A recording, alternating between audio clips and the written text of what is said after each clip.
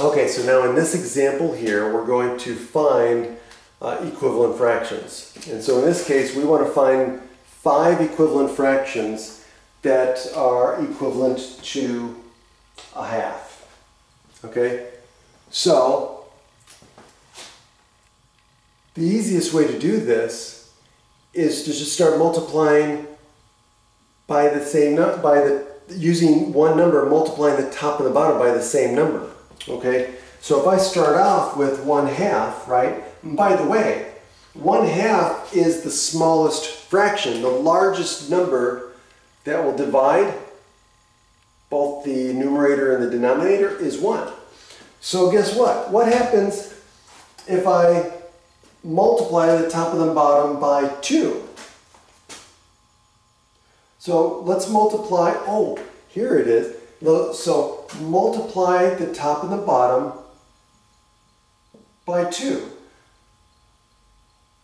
But isn't that the same as taking 1 half and dividing by 2 divided by 2?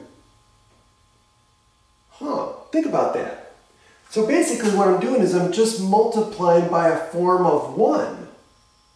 And if I multiply by 1, do I change the value of a number? Remember the principle, if any number divided by one, or any number multiplied by 1 is itself. So, and that includes fractions. So this is, in, in a sense, multiplying by 1. So what happens if I multiply by 2 over 2, or just multiply the top and the bottom by 2?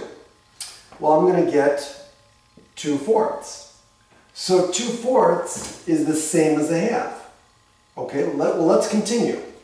Okay, so we've got 2 fourths. What about if we multiply the top and the bottom by 3? Well, let's do it.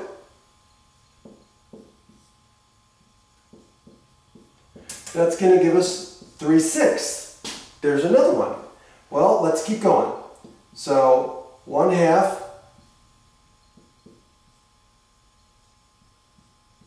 times 4. And I'm doing this differently so you can see how I'm writing it. You can write it different ways. It means the same thing. Um, so again, this is going to give me 4 eighths.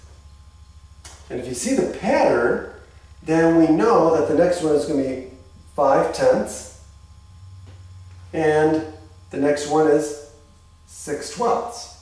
So again, if I just take 1 half and multiply the top and the bottom by 5, and then I take 1 half and multiply the top and the bottom by 6.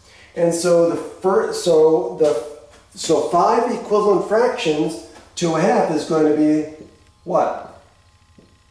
2 fourths, 3 sixths, 4 eighths, 5 tenths, and 6 twelfths.